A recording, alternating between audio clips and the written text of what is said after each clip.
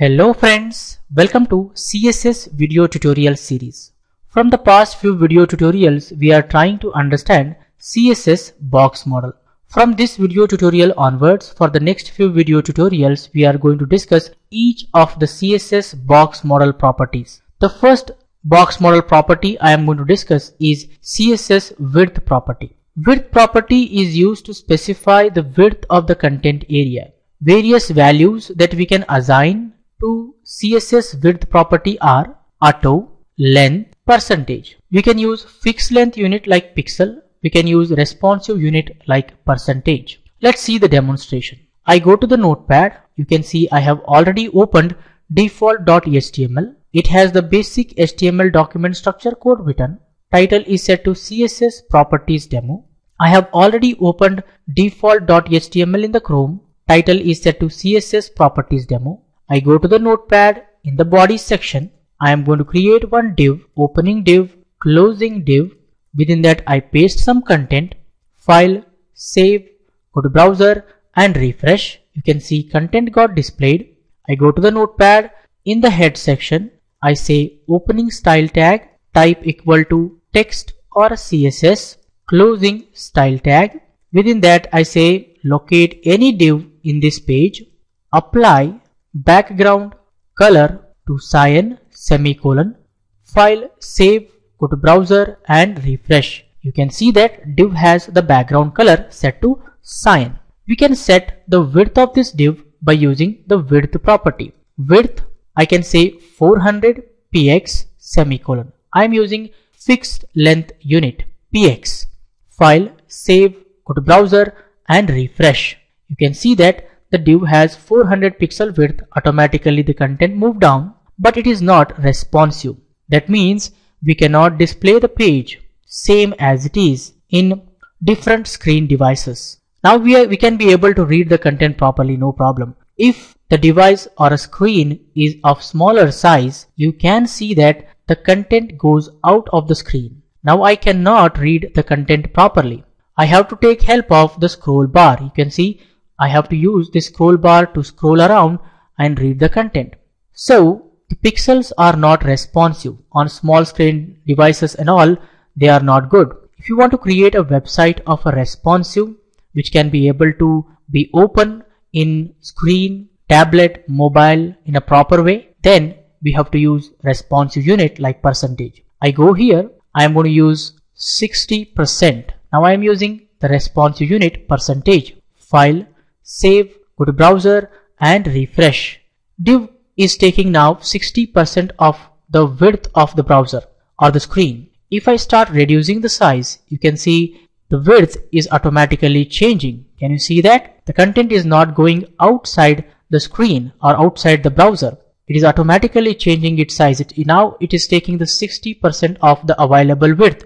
So percentage is responsive unit. Most of the time when we create a website which we want to open properly on the screen, tablet or small screen devices like mobiles, we use responsive units to set the width, height, various properties. At present, I am going to set it back to 200 pixels. File, save, go to browser and refresh. We can also set the height of the element by using the CSS height property. CSS height property is used to specify height of the content area. We can use various values like auto, we can use fixed length unit pixel, we can use responsive unit percentage. I go to the notepad, here I am going to say HEIGST height AUTO auto. By default, the height of the element will be auto friends. File, save, go to browser and refresh. You can see there is no change.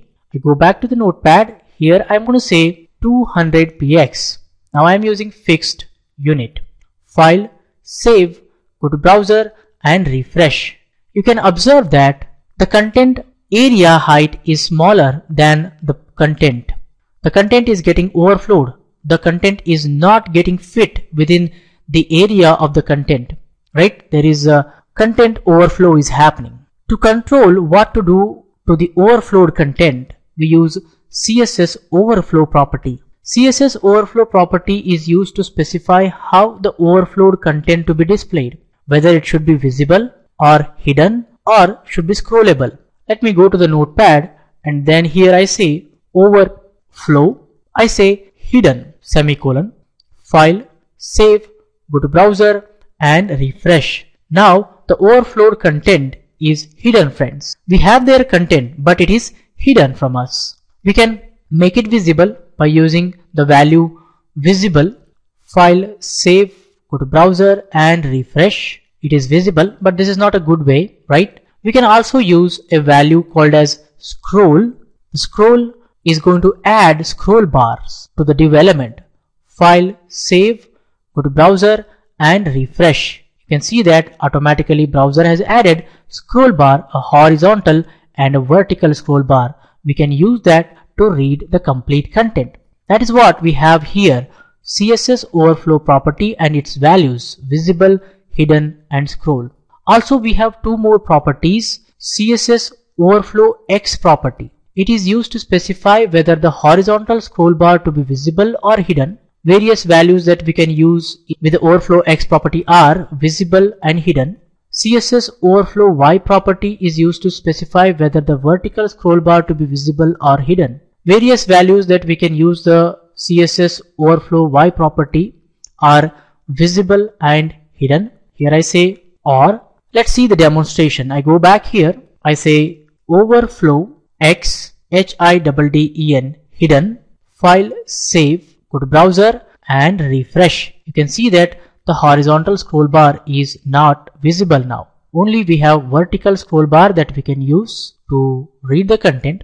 Also if I say here overflow Y hidden file save go to browser and refresh. Now the vertical scroll bar is not available only the horizontal scroll bar is available. That is how you can use um, the overflow x and overflow y properties. Even i say here overflow dash x colon h i double d e n hidden semicolon file save go to browser and refresh. Now both scroll bars are not visible. It is same like saying overflow hidden file save go to browser and refresh. There is no change, you can see that. I hope you guys have clearly understood CSS width property, CSS height property, CSS overflow property, CSS overflow X property, CSS overflow Y property.